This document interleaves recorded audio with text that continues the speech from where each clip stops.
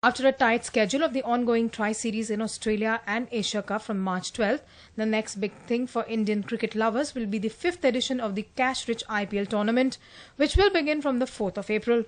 Still a month is left for the tournament, but the champions of the first season, Rajasthan Royals, have already started their training. Rajasthan Royals kicked off their preparations for the cash-rich IPL tournament at the RCA Cricket Academy. All Indian players who are playing for Royals, including newly appointed skipper Rahul Dravid, joined the camp. Former Indian captain and also called as the Wall, Rahul Dravid is joined by Australian fast bowler Shaun Tait and former Kochi Tuskers bowler S. Sreesanth. Meanwhile, Delhi Daredevils have acquired Ross Taylor, the New Zealand captain from the Rajasthan Royals team. Taylor is the second batsman that Daredevils have signed in a trade with Kevin Pietersen being made to move from Deccan Chargers to the first transfer window prior to the IPL auction.